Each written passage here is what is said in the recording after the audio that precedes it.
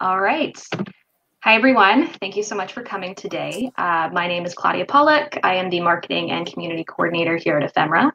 Today, we're celebrating on this Friday. We're launching some very special projects. Uh, I'm joined here today with Gisel Florez and Henry Horenstein, and we're going to be talking about Off on Gallery and Show, which will be the first work being featured by Gisel's new gallery here on Ephimera. So at the end, we'll also be revealing the winner of the book giveaway for show, uh, signed hardcover copy of the photography series.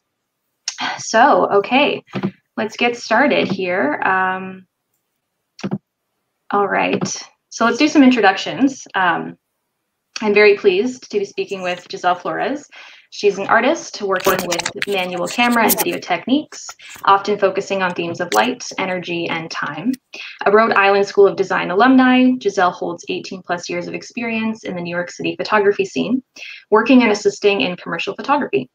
Gisel is now a leader in the crypto art space, having tokenized work as early as 2019 on SuperRare, and co-founded community spaces such as Women of Crypto Art, also known as WOCA. So welcome, Gisel. We're very happy to have you. Hello. So nice to, what an introduction. Yes. All right. And we're also joined uh, by Henry here. Henry is a photographer, filmmaker, teacher, and author. His works have been collected and exhibited internationally at institutions like the Smithsonian Museum of American History, the Museum of Fine Arts Houston, the J. Paul Getty Museum, and more. Henry has also published over 30 books in his career, showcasing his bodies of work such as Show, Honky Tonk, and Shoot What You Love, a memoir and authored educational materials such as black and white photography, beyond basic photography, digital photography, and more. Recently, Henry has been exploring filmmaking with his film partners now available to watch on Amazon Prime and is currently a professor at the Rhode Island School of Design. So welcome, Henry. We're very delighted to have you here today. Thank you. And the uh, the teacher of Gisel, which is yes, we know each other. Gisel was one of my excellent, most excellent students, and mm-hmm. we stayed in touch over the years, uh, fortunately. But 18 years, Gisel, wow. no. yeah. So that's that's one thing I really wanted uh, to talk about today too was the relationship between you two and how you met. Um, so if we could explore that a little bit. Um, Your version.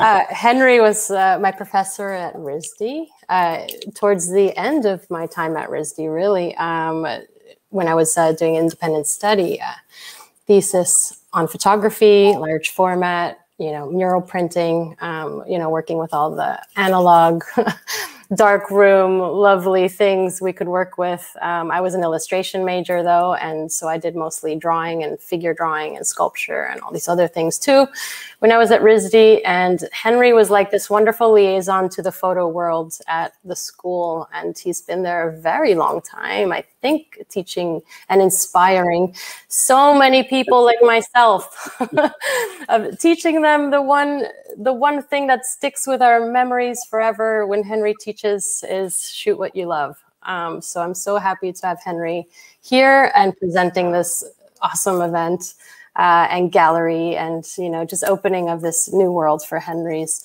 work and to show his work to a whole new generation of creators and um, kind of giving a really good glimpse of the history of photography and kind of what brought us all to this kind of visual communication that we are in now is kind of our whole universe right now. So um, we have to really look into the past to kind of see what we are going to in the future.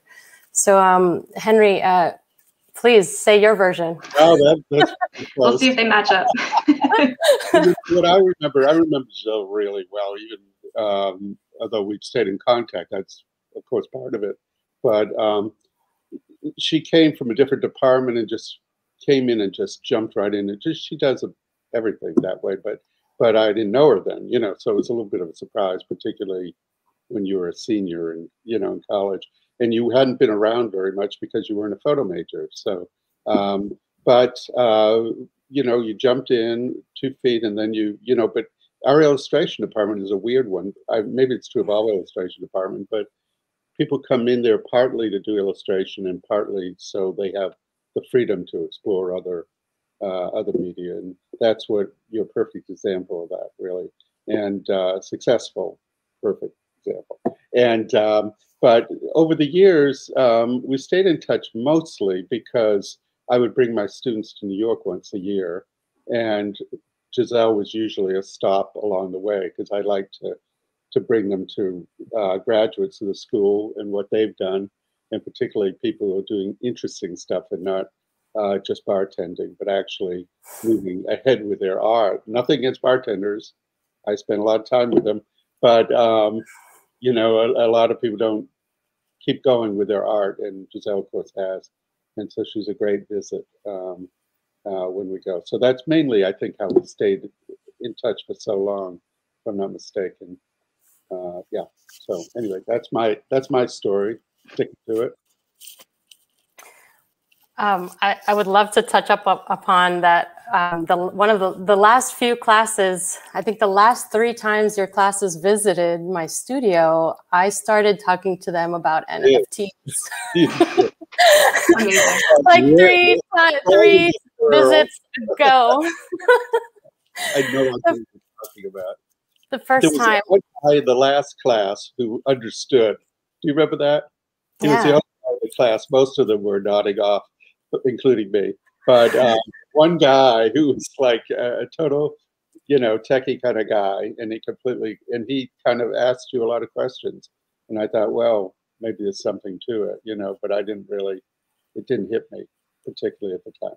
Honestly, yeah. took about yeah about three years of of my own exploration in the world kind of seeing what it what it you know what's in it and what does it mean and and what does this can this be and showing it to these kids was really fun every year showing a different perspective. And i felt pretty crazy even trying it or even doing it. And it was like hey you know i, I was wondering to see if, what they would know if they knew anything yet. And and it was so cool towards the last this last year they were they were like just starting to hear about it. And uh, it's right. so fun to see that. And then it started you know then recently you know the last three months or four months it's, it's been in media and everything. But mm-hmm. um, being able to expose kids even before the culture was anything um, seen by anybody outside of this was really cool. Yeah, um, yeah so really fun. Um, yeah, that's really interesting too, because it seems like the roles have almost reversed a little bit, Gisel. Now you're teaching Henry all about NFTs and blockchain and, and this whole world of crypto. Yeah, I love that part of it. Yeah. And I do. And, um, you know, I think as a teacher, I'm, I'm, I'm watching that, I just finished it. Um, uh, I can't remember his name, Kominsky's Method. Have you seen that? It's a, a Netflix. I don't know if you get it. I know in Canada there's shows are somehow sometimes different, but but it's with Michael Douglas and mm-hmm. Alan Arkin. It, it's it, I think it's really good, but um, and it's about a teacher, an acting teacher. And I got to say, I relate a lot to, you know, what's in there. He's a better teacher than I am, but but, uh, but he had a whole cast of people to help him out too. Uh, but anyway, so I think about that a lot, and teaching is a very rich thing for a lot of reasons. I think. And um, so I've been doing it for a while, as uh, Gisel said. And Gisel referred to the history of photography, uh, and I've definitely lived through a lot of it, but not so much uh, the old history, which is 200 years old and not that old, but um, the what's happened during the time that I've been in it is photography was was a thing. You know, it was a career, it was a job, it was a, it still is for a lot of people, but uh, you worked for a newspaper or you worked for industry or you worked in a fashion studio or something. And um, in fact, last night I went to the Boston Press Photographers Association annual do, you know, and because uh, I have a lot of friends who are newspaper photographers and, and, um, you know, and I, and it was a slim group of people there, you know, because there aren't many newspaper photographers left. The career's kind of gone but some of that stuff has morphed into um, into art, into the art. You know, one minute they were photojournalists, and the next minute they were artists. Right? It's a big jump, um, or a different jump, let's say. And um, I met a guy who I knew a little bit, but I knew his work very well. Stan Grossfeld, who works for the Boston Globe, and he he won a Pulitzer Prize in I forget what year, but you know, a few decades ago and he beat out uh, Sebastian Salgado, who was one of the great photojournalists of all time. And there he was, amazing. He won the Pulitzer over Salgado, which is really, you know, so uh, it's the world's changed a lot really quickly uh, in a lot of ways. But for photographers, when you started, Gisel, even you know, 18 years ago or whatever it was, it was a different thing. If you went back to RISD now as a student, I think you'd find the whole sensibility and you know what pe- what the students really want. It's quite, um, quite changed. It's it's so interesting. Uh, you know, at the time I left RISD, it was ev- the professional photographers were just starting to access digital photography. Um, when I started uh, professionally, you know, assisting, um, I, I was working at a at a digital capture company where they bring these big computers and servers and everything to a photo studio so that a photographer could instead of using film use computers for their photography.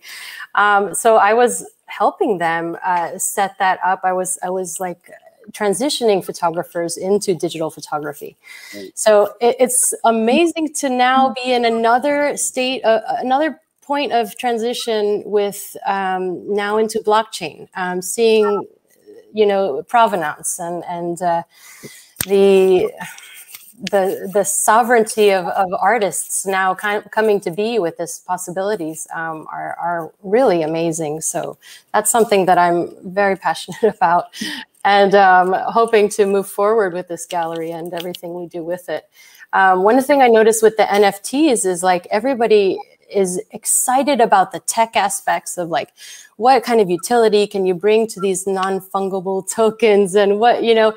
But there's also just a, a state of, of the historical context of these items that are now encapsulating not only a digital file but sometimes multiple digital files or like a you know it's almost like a capsule now of an artwork that we can embed with different things like tokens or different um, images or pieces of the story. So that's something I'm I'm trying to instill into the off on gallery. You know, off chain artists now on chain, um, trying to uh, bring this meld of of tech, but also kind of like in a very simple, minimal way of like telling the story more than anything. Um, telling the story of these creators and, and what they've been giving to the world um, for many years. So that's that's kind of where where I'm headed. Well, you have so many different layers that we didn't have originally. You know, we, before we had a photograph and put it on the wall, or post it in a book or a magazine, whatever.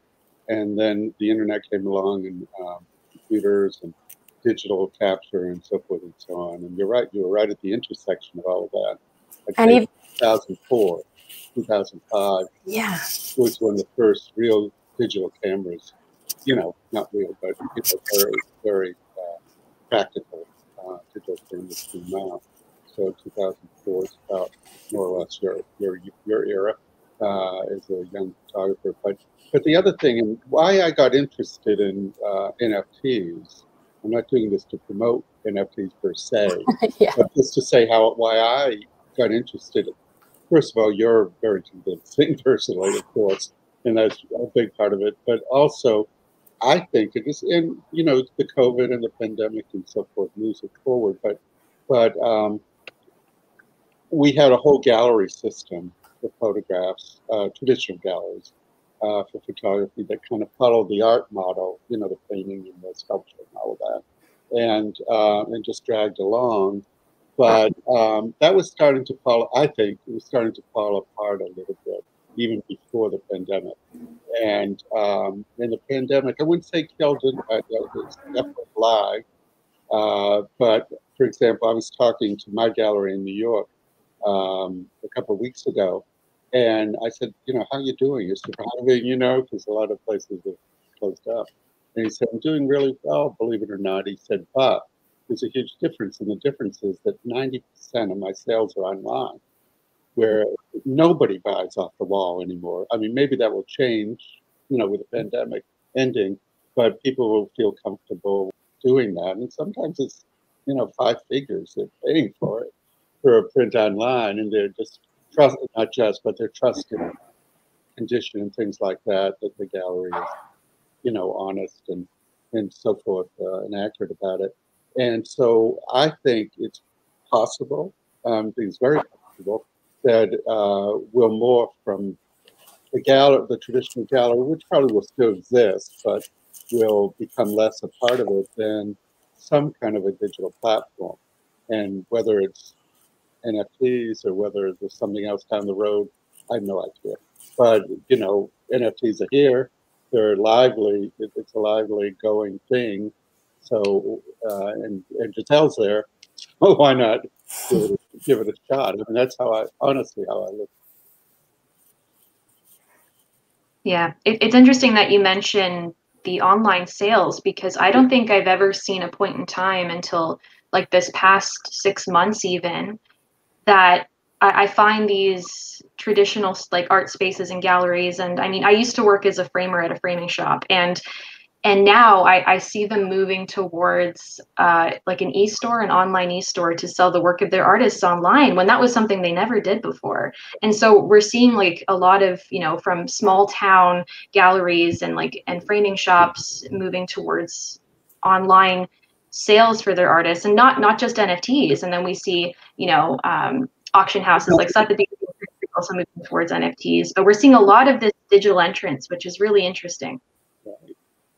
Yeah, I think so too. And I think also, I mean, I know that there has been this burgeoning um, uh, move, again, not an exclusive move, but a part of it, one of the little sectors of, of what we do, um, towards uh, people buying low cost, uh, low cost prints that are unsigned but are the original image, either from the artist or from a gallery or a nonprofit raising money and they're sometimes selling hundreds of, of these pictures for not not a lot per unit, but when you add it all up, it's real money, and um, and it, it's uh, democratizing the process.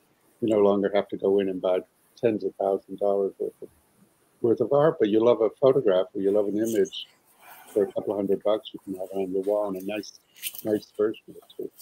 What, what I love about um, what NFTs kind of bring to that, um, because there is a similar thing that can be done with NFTs with editions and all that, right. um, is you, you the name the name the name always sticks to it. Like if you had get a print from anywhere, it's like you if it's not signed, you, there's no way to really keep that memory of who that name is.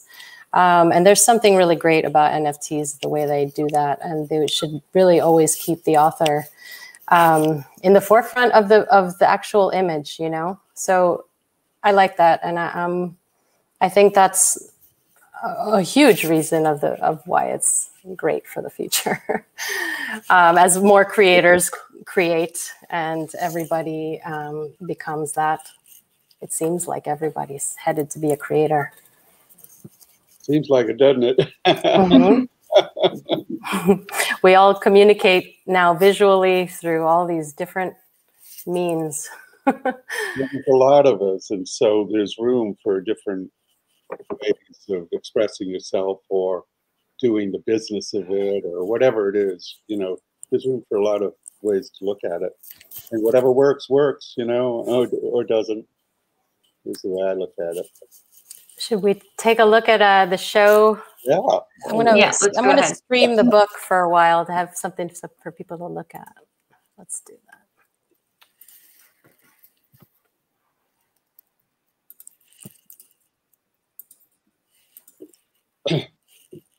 this is the one I did last. Oh wait, one more try.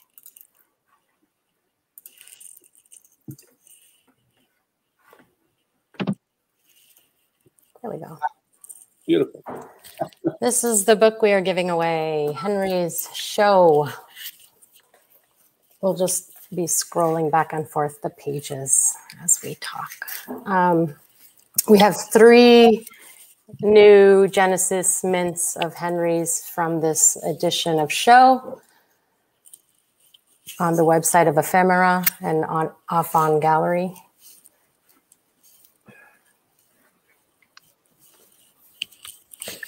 So, Off On Gallery, for those who are tuning in, um, is a gallery that's built directly into Ephimera. So galleries allow for the opportunity uh, for a curator or an arts professional to mint work on behalf of the artist, kind of bridging like a gap between the fine art world, um, those artists that may not be native to crypto, and kind of helping them over that hiccup into getting involved in the crypto space.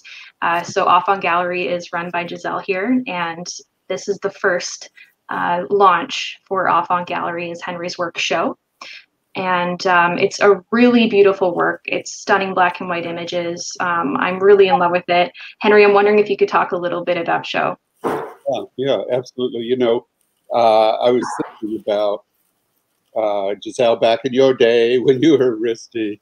A lot of uh, students, and I think most photographers, that start out by just taking pictures of random things that interest them. You know, whether it's family or dogs or cats or or any landscape, anything. Mine was meat. It uh, meat. Mine was meat. Oh my god! I forgot. Giant I mural prints of meat.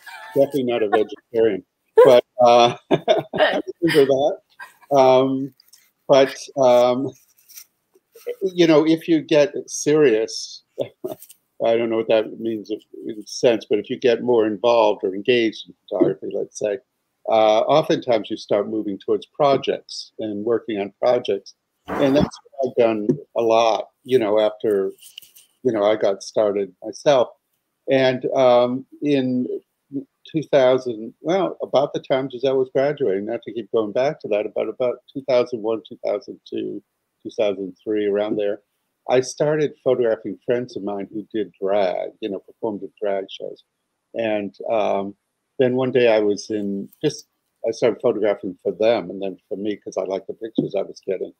Uh, I always think that an interesting subject is like 80% of a good picture. So if I can hook a, a great subject, then, you know, maybe I have a shot. And um, so, and then I was in New Orleans working on it, ending up this project I was doing called Aquatics about um, uh, marine animals. And uh, the aquarium where I was shooting was closed. And I'm looking through the paper for something to do with New Orleans you know, at night. And so I think there's something going on. And I see in the Shim Sham Club in the French Quarter, there's a something called um, it was the first annual um, first annual festival uh, called uh, Teaserama. There was kind of a celebration of burlesque because burlesque was a you know an older then dead virtually dead uh, entertainment form from the 20s and 30s and 40s, and, and it died for a variety of reasons. And um, so there was a, this group of uh, all women, virtually. Every once in a while, there'd be a guy show up, but uh, it was almost all women who were celebrating these great performers who had kind of been forgotten.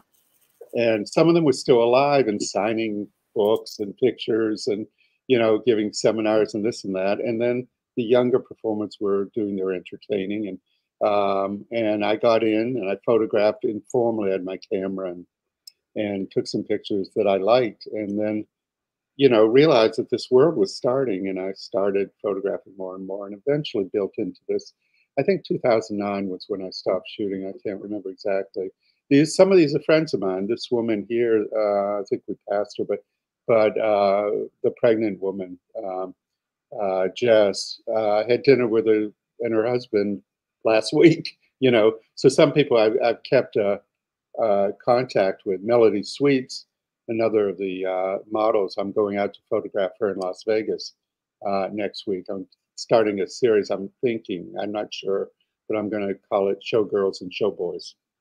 So her friends, she's working in Vegas, and she's going to hook me up. So um, I love that, Henry. You never stop working. you never stop shooting. What is that? Come on. or as my sister keeps saying, working? Yeah, right. but it's true. You know, I it love is. it. Um, so anyway, um, so that's what this book, to me, you know, the art world, as photography has become more accepted in the art world, it's also on some level, I think, and I'm sure I'll get people disagreeing with me, but it's also become more um, more proud of itself, not in a good way, more pretentious, more, you know, not all of it, but a lot. And, um, you know, and has stopped being, you know, when I started out, it was Bohemia. and then at a certain point, when it, the, when Art in America discovered it, it was bye bye Bohemia. You know, it was money was involved and um, egos, always egos, but still even more so. You had to dress a certain way.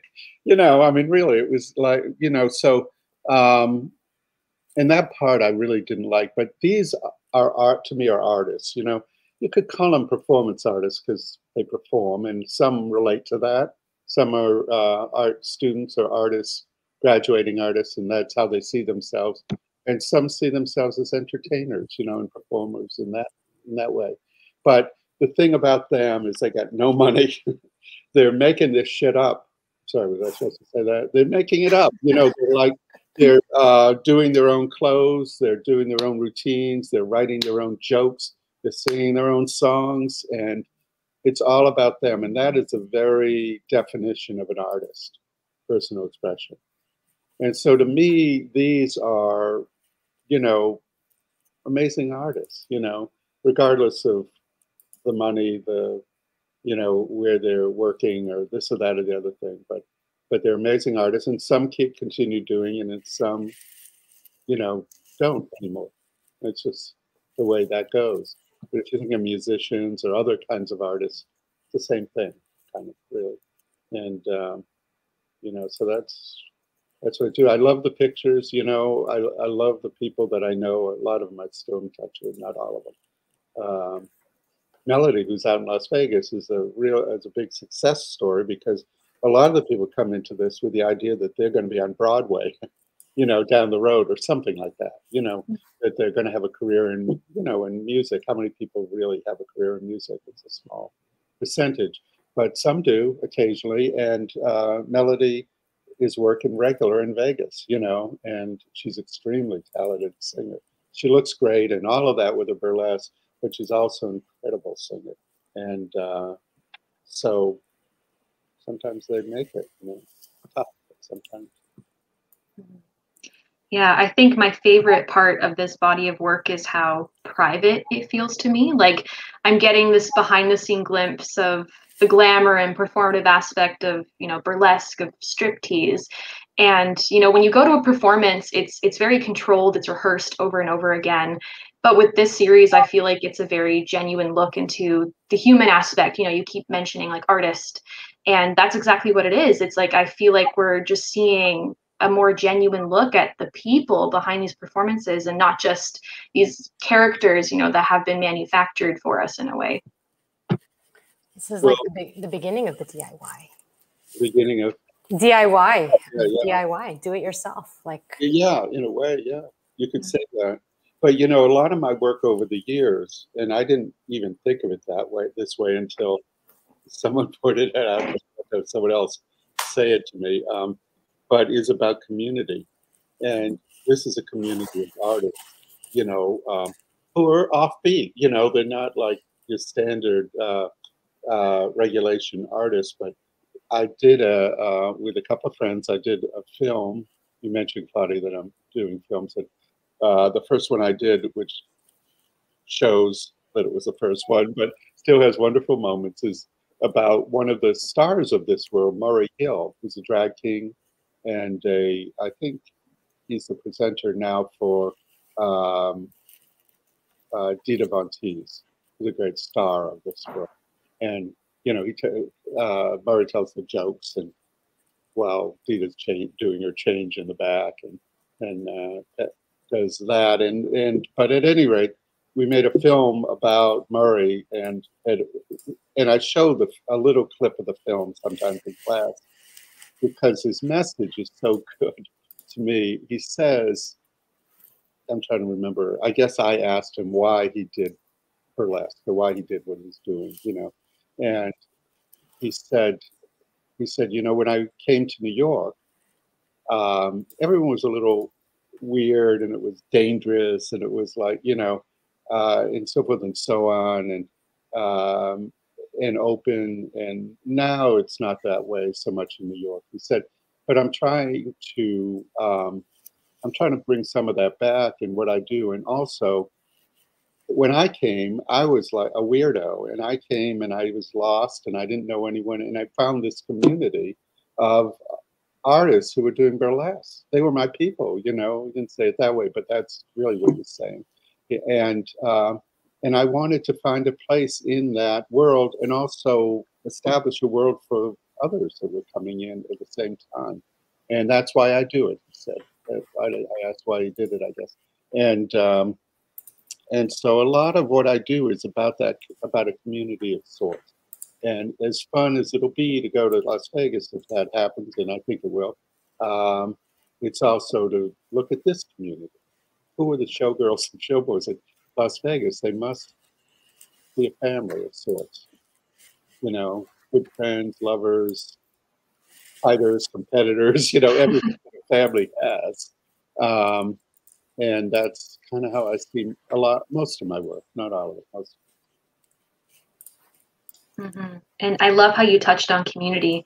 I mean, when I was studying photography at Ryerson, um, one thing that we talked a lot about amongst our professors and our the students was how do we as photographers enter a community that we're not necessarily a part of?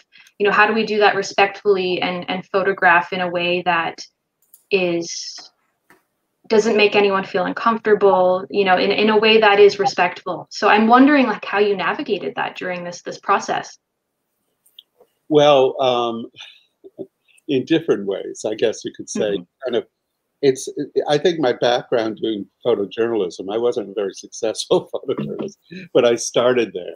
And so i kind of learned a lot about that world um, and how to how to work. But i was um, i struggled through it the same thing you're saying you know and how do you but I, I discovered fairly early on in fact i'm, I'm doing a book um, in the fall uh, called speedway 72 it, it, pictures I made 50 years ago at the Thompson Speedway, stock car racing, and and that's when I learned what you asked because uh, my brother-in-law used to race stock cars, and he got me a job as a um, photographer for one summer for the Speedway, and um, I had a little badge. I still have it. It's the publisher of the book, you know, that said it press and so forth and so on. And I just shot anyone I wanted, and just if anyone asked, I just said, looking for the program, you know, the the track program, and they're okay, you know. And so if you have a reason to be there that's very understandable, you don't need to all the questions of you know respect and connection and all of that go out the window. You can have that stuff, but um, but you don't need it because you have a reason reason to be there but some people are very sensitive about, you know, and some people just aren't. And uh, my favorite story about that was the great photographer Elliott Erwitt told this story. Um, he made a picture, most of you are familiar with it, all of you, I'm sure. Whether you know it or not, Jackie Kennedy, when she was at the funeral of um, her, her, husband, the president, um, she's in a black veil and looking very sad and so forth. That was a picture Elliott Erwitt made uh, during the funeral, and it's you know it's a um, an iconic picture of that time. And I, uh, someone said I wasn't talking to, but, but someone did was ask the question: Is that how you know how'd you do that? Same question you're asking, Claudia. He said, "Oh, he said I used a long lens and stayed away. I didn't want to disrespect her or get in, you know." And um, and they said, "Oh, is that your your suggestion. He said, no, no. He said, you should be who you are. He said, I that's the way I am. I'm a little shy, and I got to find a way to make my personality match what you know what my goals are. He said, um, I'm like quoting here, and he said, but I won't mention the photographer's name, but very famous portrait photographer in the same era did a lot of work for Life magazine and you know big magazines at the time. And he said, you know, if he was photographing the funeral, he would have jumped on the casket and gone down with it. Because that's his personality, you know, and it, and it was, it is, was, guy's still around and working. But um, so I thought that was good because you got to figure out who you are and find a way to make that work. If you're a respectful person, um, you know, you'll make it work. Another successful student of mine was uh, a guy named Jim Goldberg. The photographers might know who he was. He did a book called Raised with Wolves and called Rich and Poor. Both are big books in uh, in their eras in photography in any era. And um, when I, he was a student of mine way way back, and uh, I ran into him one point. He was starting Raised with Wolves, which is about feral kids in Los Angeles, kids who are basically homeless and uh, you know and hustling to stay alive. And um, I said, "How's that going?" And everything. He said, "Oh, it's great. I've been at it for a year." I said, "Are you getting great pictures?" And he said, "Oh, I'm not taking any pictures." he said, "I'm just getting to know them and having them know me." And he said, "I don't want to exploit them, you know, and everything." I said, "Jim, I think you should take pictures. You know, I'd like this seems to be, you know." And he said, "No," no. and he made this beautiful. You know, it was who he was, not who I was and it's a good thing for a teacher to understand, I think. That your students don't have to be you, but have to be them, and you've got to help them do that. That is a great point. Mm-hmm. I think many people who have gone to higher learning have found certain teachers that really don't jive with them. As in, yeah, as everybody does, I'm sure. Um, yeah. But yeah, you always have to keep that in mind it's like no, it's so important that it's uh, you know it's not my life that I'm you know it's their life, you know, and they they should take what I I tell them this all the time. I don't know if I did back in the day, but but I I'm so conscious of it now, you know, because I've seen it a lot too. But you know, you go to a place like RISD, you've got 15 or 20 really good teachers, mostly really good teachers, or even if they're not really good teachers, people with something to say. And you listen and try to pull one or two things out from each one and you've got something at the end of it you know? You got a lot but you've got to make that you got to pull the stuff out that works for you and not for somebody else. And anyone who's successful with it has done that I mean, you've made a, a, an incredible career, Gisel. I mean, you know, you. I was going to say that that's like kind of good. you did not that but it's it's uh just taking little bits you know take what use what what works for you that's a great great way to say it because really you don't have to read the whole book it's just like it's just like keep the little excerpt that really means something to you um, yeah if you just get a little nugget from someone even if you didn't like the teacher you know what i mean even uh, generally if you didn't like the teacher didn't buy their you know approach but they're probably teaching for a reason You know, they're probably there because they know some stuff or they've had experiences and, you know, can teach you. Um, so, and I think it's a big mistake. A lot of students did it. I did it when I was a student a lot. If I didn't like a teacher, I would dismiss them. And money to go to that, you know, listen. Maybe they'll speak to you a little bit, you know. Yeah. Uh, let's switch gears here a little bit. So I want to talk about the decision behind the three Genesis pieces that you've decided to tokenize. So we have, you know, this huge body of work here. So I want to hear a little bit about the choice behind the selection there. Well, this was, might speak to that better than I. That was yeah. that was. The, Sorry. No, the yeah that that um it was it was a hard decision. Henry's like Henry's like, you choose. I'm like, oh so no. can we can we share your screen there? I am trying to share a screen. Oh. Let's see if it works. Here, let me try one more time. Okay. Let's see if this will work. Uh, I was going to go to the OFF/ON gallery and just look at them there. Is it sharing? Yes. Oh, great. Cool. Okay, so here we are. Ah, so these are the three mints of the Genesis drop. Um, I, you know, it's I, I lived with all of them for a while. I lived with them, and I kept, you know, trying to see what three, and um, not only what three, but which three stories um, that I thought worked really well together in for the beginning.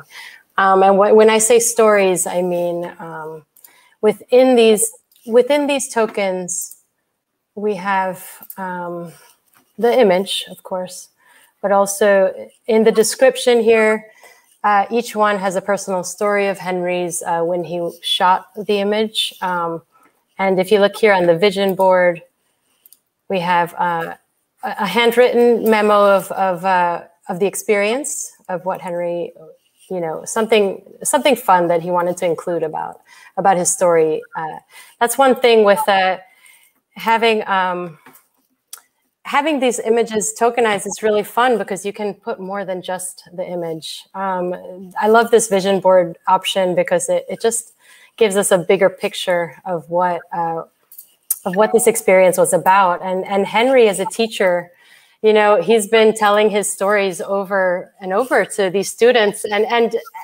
I'm, I'm sure as you hear him speak, you it's like he gets ideas and and stories from every part uh, around him. Um, and when he's talking of his photography, he usually has all these really fun snippets of his experience that get lost if you don't if you're not there with him. Uh, hearing about his stories and and how he documented. So I wanted to kind of try to use these NFTs in that way to kind of instill a little more into the NFT than just the picture. Like I would love to put the whole experience. I wish I could grab Henry's like video and like face and just like stick them in there. But like of the actual experience that he went through, you know, like I don't know.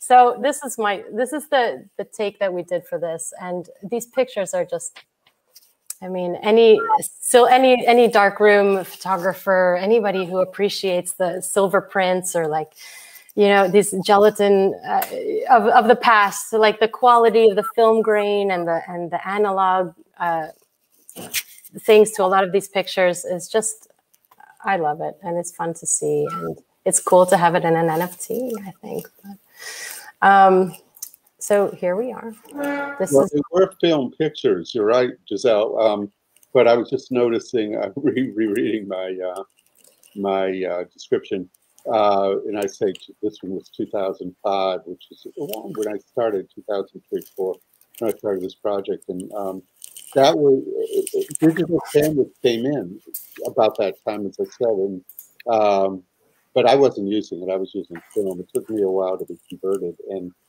but towards the end of the project, I was shooting both film and digital. So you know, there are a few pictures at the end that were uh, digitally uh, captured, but but uh, that was a transition for me in terms of technology. I love.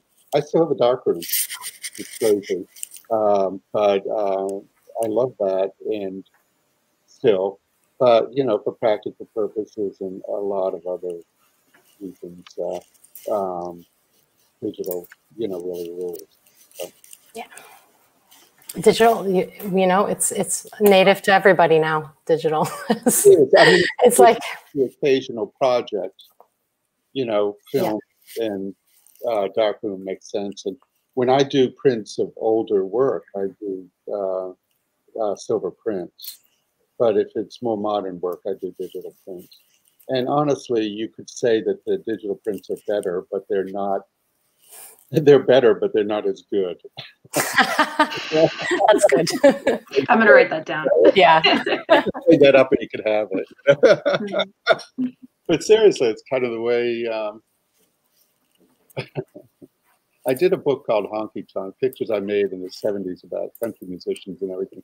And somebody once asked me um, if I could, you know, if I did it again, would I do a better job or maybe they were insulting me. I don't know. Anyway, so if I would do a better job or not, and I thought, and I thought, you know, I I probably would do a better job, but I don't know if it would be as heartfelt. Because when I did it, it was like, oh, you know, I thought about it, dreamed about, and and now I'd knock it off, you know, and probably do a good job, hopefully. But um, I wouldn't be as engaged. It, should, should I uh, delete that?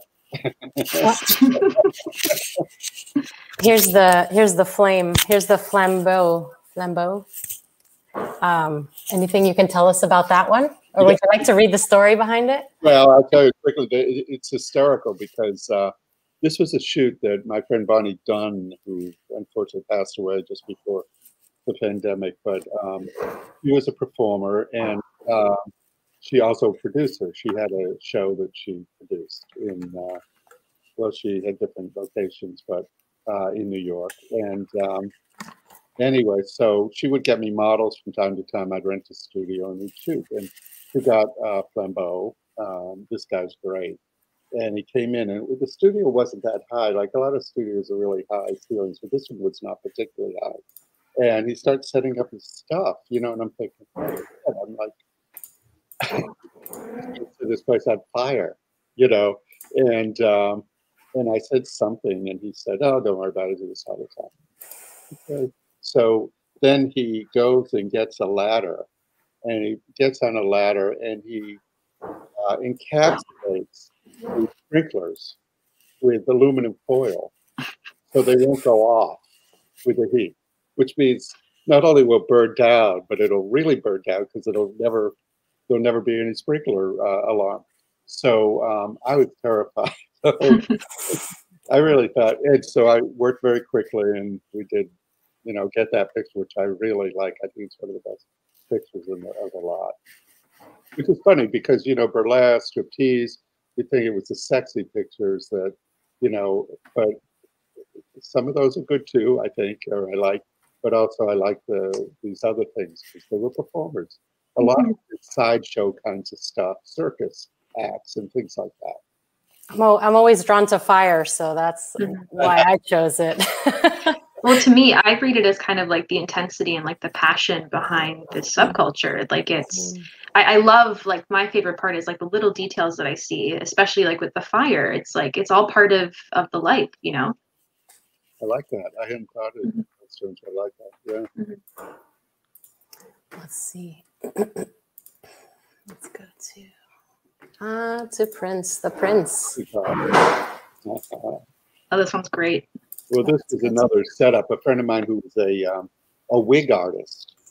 She creates wigs and uh, so forth, uh, and in this world, but other worlds as well. And uh, she got me poppycockers. And he, his job at the time was he would go to parties and you know dress with different of her wigs, and uh, and just walk through the crowd he didn't really do much but walk through the crowd showing off the wig.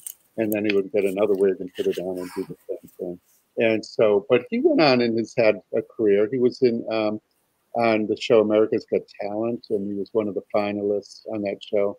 And he does on YouTube. There's a great uh, duet with Donna Summer uh, that he sings, and you know, I'm not sure what he's doing now, but he's got an active website. I, I could look and find out. But um, that guy, and when he uh, he was going up for America's Got finals, I sent him an email and said, um, uh, you know, good luck. I said and so forth. And he wrote back and he said, I'm just going to ride this pony till it drops.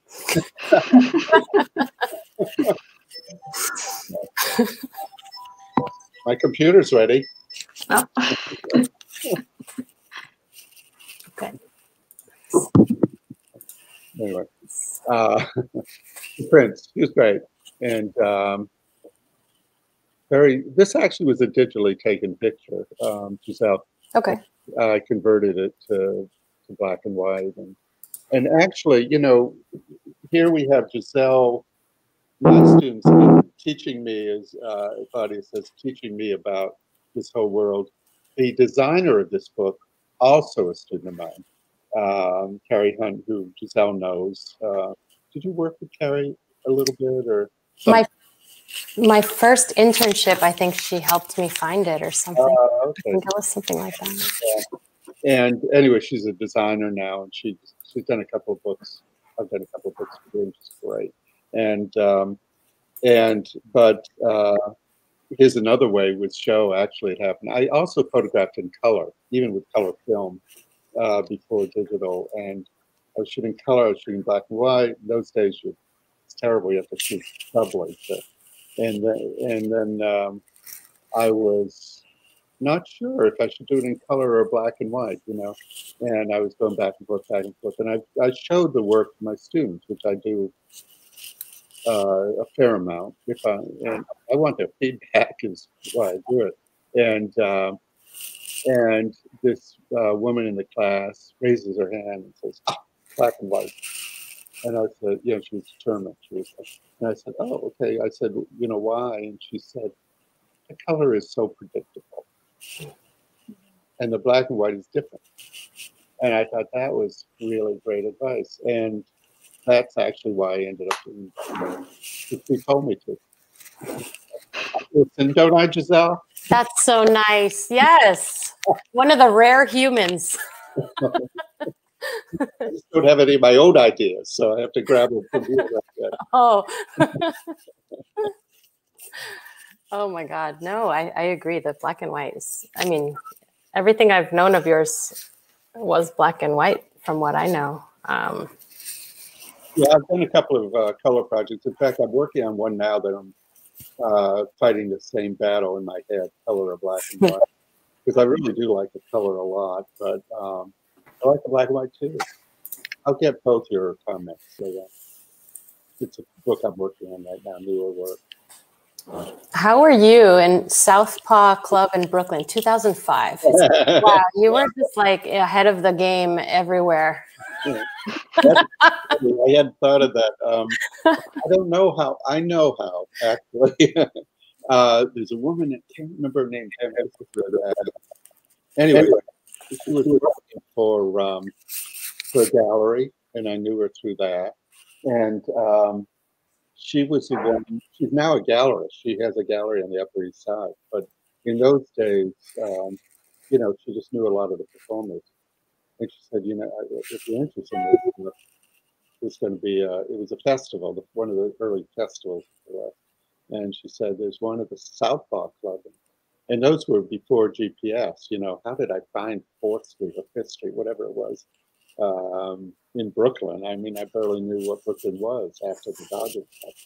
But um, so I find my way somehow to the Southpaw Club. And it was fun. That was kind of a hip club. It would be gone by now, right? Suzanne? I, yeah, I, I actually don't know. Yeah. Didn't know either. Well, uh, yeah. Cool. Gisel lived in Brooklyn for a long time. In fact, you were an early pioneer, as I recall, in Williamsburg. Fairly early, right? Early-ish. Early. but it was it was like post Wild Dog. So so like I know a few people that were like pre Wild Dog era and in Williamsburg. Change. Change. All um, right. Uh, so we're nearing five o'clock here. Did you want to do the book giveaway? Oh yeah, let's do that here. Yeah, let's do it. Yay, book giveaway. Here we are at the end. If you made it this far, let's see. Okay, so let's stop. Oh, you're right. I'll just go here. I will have to stop sharing to start.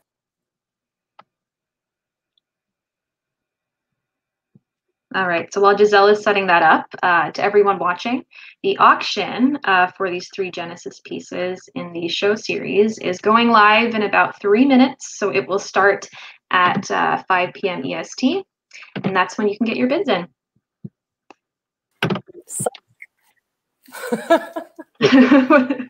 All right, just joking. Did it work? Okay. Oh yeah, almost. Wait a minute. So let's see. How do we do uh, this? Share. Oh, I need a share button. Oh, here it is again. Okay. Here cool. we go. Try, try one more time. Yeah, we love technology. let's see. Yay, tech. Okay. Wheel of names. Oh, does it work? Do you see yes. it? All right. All right, these are the 28 entries. Um, Claudia, I know you retweeted. I don't know if it's, are you supposed to be in here too? Don't add me in. No, no, no, no. If, no, I win okay. this, I'll feel so bad. okay. Oh no. Okay. So I'll take you out right before. I thought mm-hmm. to ask just in case. Okay. Cool. Yeah, yeah. Here we are. Twenty-seven entries. Now we go. And one, two, three, go. I feel like I need like a drum roll. oh my god. Oh. Empire. Empire. Nice. Congrats. Do you know Empire? No, I don't. Do we know Empire? Congratulations. Congratulations. I hope I can contact you for send you an awesome book. You know, uh, I might ask in case Empire's with us, but also when you uh, contact him, her, they. Um, if um, if an I would usually sign the book with my name, but I'll do it a personalization if. if Oh, awesome. I'm sure I will, I will let them know. Yeah, yeah, yeah, that'd be great. Very cool. Cool. All right. And then this is done. Okay. Okay. Excellent. All right. Well, I think that's the end of the talk. I, I wanted to say thank you again, Gisel and Henry, so much for coming out. And that's the book. Oh, it looks so good. Yay. wow. I mentioned that this, uh, there are two Show versions of this book, but this is Oops. the Yeah. special edition, which Mhm. Covers, That's some gold. and only, uh, I think 300, two or 300 were printed of that. The paperback is the same book, but it's paperback. Oh, it's an edition of two or 300, you said? It's an edition of two or 300. the Awesome. hardcover is. Oh, wow. Cool. But that's my friend Jess. That was your friend, right? Yeah. Yeah. the kids are like teenage monsters now. Mhm. Oh, wow. They're beautiful children. I want to see a new portrait of her now with her children. she looks good, but uh, yeah, she's semi-retired from uh, for us, but I think she'll be back. Um, yeah, yeah. Claudia, thank you so much. This was really fun. Of course. Thank you. I'm so excited to see uh, to see the auction go through. And yeah, it's been fantastic. And Gisel- Auction is now live. It is. It's live. Let's share it. Great. All right. Well, and thank you everyone for tuning in. Uh, there's lots of comments coming in. Uh, thank you. I'm so jealous. Perfect. Okay. So, yep, that's it. So we'll see you on on Twitter. We'll share this around and Terrific. Be sure to follow, follow off on gallery and Yes. Ephimera and Henry. Henry. Yes. and all her artists. So I know I'm curious as to who's going to pop up after uh, after me. So uh, I'm following. All right. Thank you all. All right. Thank you. See ya. Bye.